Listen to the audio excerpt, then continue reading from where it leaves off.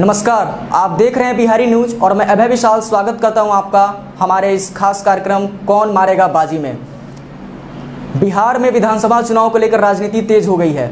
चुनाव आयोग द्वारा चुनाव के तारीखों की घोषणा कर दी गई है। ऐसे में राजनीतिक पार्टियों के द्वारा उम्मीदवारों की घोषणा की जा रही है। पहले चरण के नामांकन की प्रक्रिया समाप्त हो चुकी है। अब दूसरे चरण के नामांकन को लेकर अधिसूचना जारी कर दी गई है।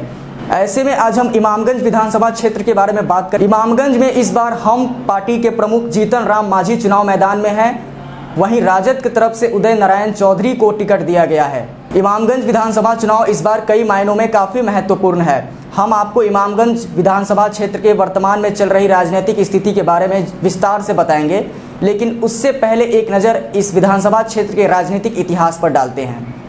इमामगंज विधानसभा गया ज़िले के अंतर्गत है। यह औरंगाबाद संसदीय क्षेत्र के अंतर्गत आता है। यह अत्यंत पिछड़ा वर्ग के लिए सुरक्षित सीट है। तो आइए सबसे पहले जानते हैं साल 2015 विधानसभा चुनाव के बारे में।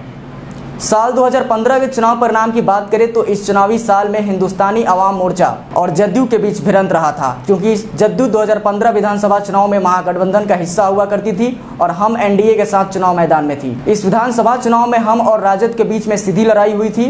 हम के तरफ़ से चुनाव मैदान में जीतन राम मांझी थे, वहीं जदयू के तरफ़ से उदय नारायण चौधरी। इस चुनाव में उदय नारायण चौधरी की हार हुई थी, उन्हें मात्र उनचास वोट मिले थे, जबकि जीतन राम मांझी को उनासी हज़ार नौ सौ इक्यासी वोट मिले थे। ऐसे में इन दोनों नेताओं के बीच हार जीत का अंतर उनतीस हज़ार चार सौ आठ वोटों का रहा था।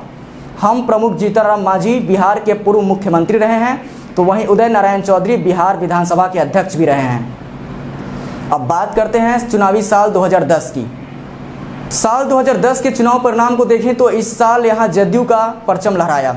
जदयू से उदय नारायण चौधरी विधायक हुए थे, उन्हें चौवालीस वोट प्राप्त हुआ था। वहीं इस चुनाव में प्रतिद्वंदी उम्मीदवार की बात की जाए तो राजद से रोशन कुमार रहे थे। इन्हें इस चुनाव में बयालीस हज़ार नौ सौ पंद्रह वोट मिला था और वे तकरीबन एक हज़ार दो सौ ग्यारह वोट से हार गए थे। अब हम बात करते हैं चुनावी साल 2005 की। चुनावी साल 2005 की नतीजों की तरफ़ जहाँ जदयू से उदय नारायण चौधरी का ही कब्जा रहा था इस सीट पर साल 2000 के चुनावी नतीजों को देखा जाए तो इस साल भी उदय नारायण सिंह का दबदबा रहा। हालाँकि इस बार वे समता पार्टी से थे। लगातार 15 सालों तक विधायक पद पर बने रहे अब हम रुक करते हैं साल उन्नीस सौ पंचानबे की, जहाँ समता पार्टी ने ही विधायक की कुर्सी जीती थी, लेकिन शख्स की बात करें तो वह बदले हुए थे। समता पार्टी ने अपने प्रतिनिधि रामस्वरूप पासवान को उतारा था और वे विधायक चुने गए थे।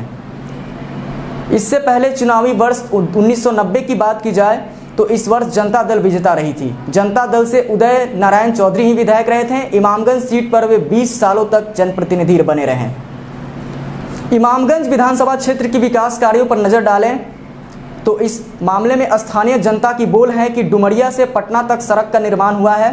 बिजली की समस्या से निजात मिली है। झारखंड से जोड़ने के लिए सड़कें बन चुकी है।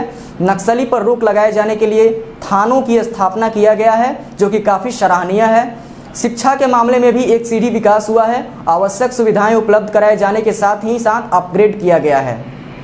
अब हम मुड़ते हैं चुनावी मुद्दों की तरफ़, जो काफ़ी महत्वपूर्ण है। स्थानीय लोगों के अनुसार सिंचाई की पर्याप्त व्यवस्था होनी चाहिए। इसके अलावा आज की सबसे बड़ी मांग और उभरती समस्या बेरोजगारी है। इसके निदान के लिए उद्योग धंधों की स्थापना की मांग जारी है, ताकि पलायन रुक सके और रोज़गार उपलब्ध हो सके। बिहार में इस साल होने वाले विधानसभा चुनाव में कांटे की टक्कर देखने को मिल सकता है। इस बार इमामगंज सीट एनडीए के खाते में हम के पास गई है तो वहीं महागठबंधन में यह सीट राजद के खाते में गई है। ऐसे में पिछले विधानसभा चुनाव के प्रत्याशी एक बार फिर से आमने सामने हैं। उदय नारायण चौधरी ने जदयू को छोड़कर राजद का दामन थाम लिया है। लेकिन पिछले पाँच साल के दौरान हमने भी एनडीए के साथ छोड़कर महागठबंधन का दामन थाम लिया था, लेकिन चुनाव से ठीक पहले हम एनडीए के साथ हो गई है। ऐसे में अब लड़ाई हम और राजद के बीच में हो गई है।